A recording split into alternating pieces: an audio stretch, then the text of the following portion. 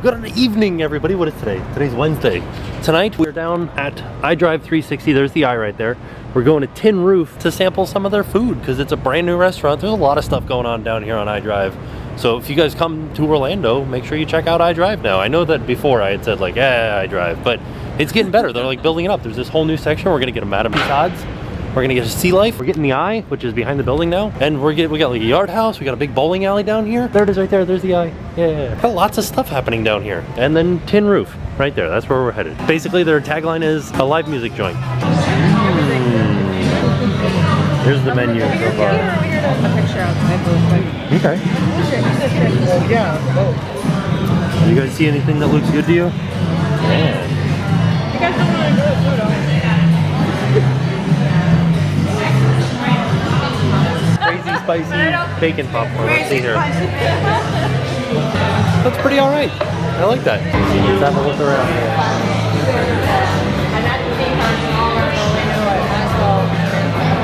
Oh, I love how they're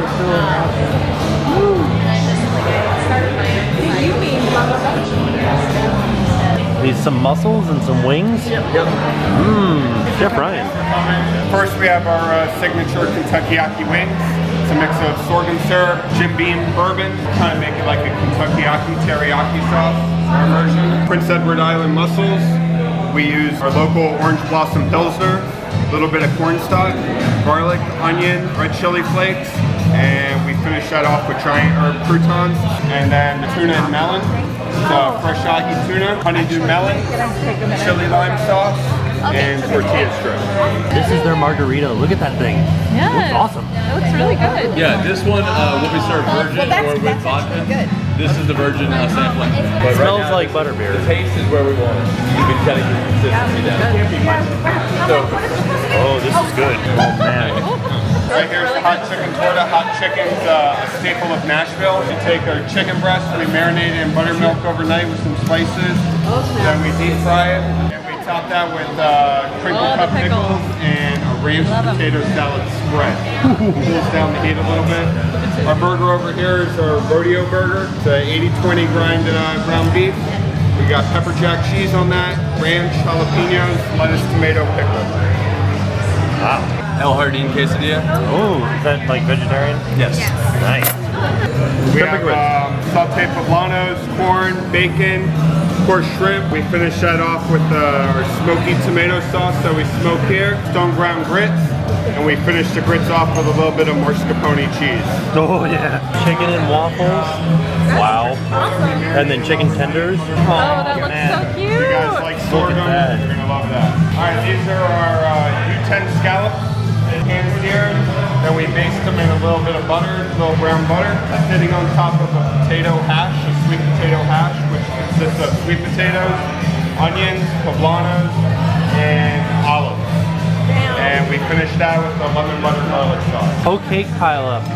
Man, look at that. Yeah, Cornmeal it's quite nice. pancakes with barbecue brisket and green cabbage slaw. Some ribs. Look at that. All right, our two desserts. Yes. First one is our signature cow horn pepper s'more pie. As you can see, our mascot here is Chip. We dust him with a little cocoa powder. Has a graham cracker crust, a little bit of butter, a little bit of cinnamon, brown sugar, dark chocolate ganache.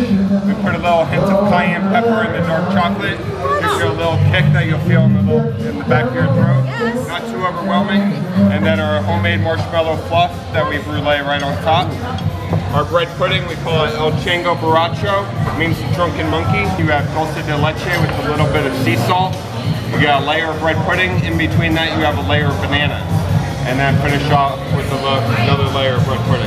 This little shot that we accompany it with is 99 bananas and cream and dulce de leche. What I recommend is taking half of the shot, putting it in the middle of the bread pudding. So it kind of gives you like a creme anglaise type deal on your classic bread pudding.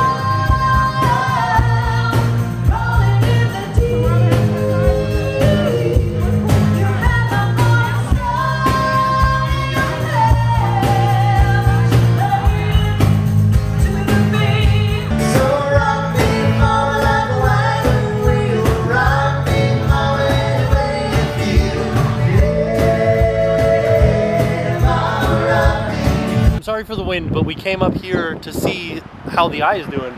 They're gonna be putting the last capsule on tomorrow. It is very big. Wow. Look at this view that we have from up here though. Like that's the convention center out there. Let's see, what do we got? Lots of lights. I don't know, it's like city, city stuff.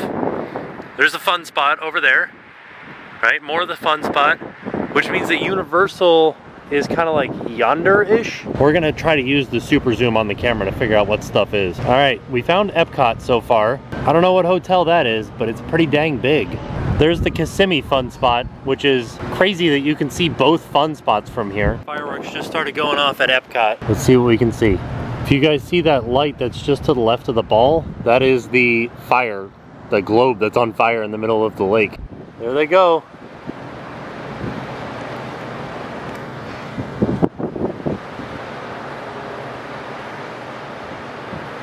That's pretty ridiculous looking.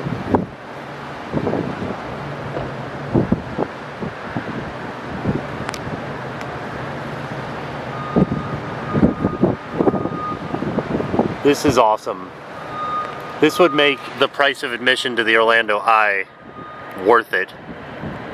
You can imagine that the line is going to be huge at 9 o'clock at night. I just stopped recording and then you heard the fireworks go off. Like a good minute, minute and a half afterwards. Science! Just so you guys have an idea of how far away Epcot actually is from us, let's get a zoom out here. There it is, off in the distance. Wow! That was a lot of fun. Now, I know that before we have said that iDrive is not the safest place. We haven't been down to iDrive in a while. They're really starting to build that section up, like where we were with the iDrive 360, Fogo de Chao, Red Robin, Carrabba's, all these different places, Sleuths, Kings, there's like a bowling alley. It's awesome. If I was coming to Orlando as a tourist, I would totally go down I Drive and I would walk that section of it. Uh, it's awesome. So, but as you guys know, my bedtime's at 10, it's past 10. So, I'm gonna go to bed. I will see you guys tomorrow. And now it's time to pay the price. Big thanks to Tin Roof Orlando for having us out tonight.